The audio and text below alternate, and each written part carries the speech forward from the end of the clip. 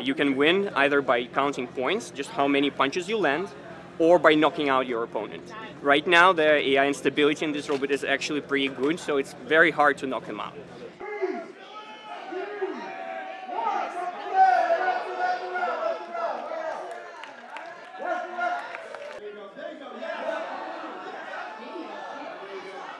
Right now, the, the mapping works only on three movements, so the robots can right hand, left hand, punch, and kick. And so I found this hack where I can like dance or do something way more low effort, and it still maps to a punch. Left around, left around, left around.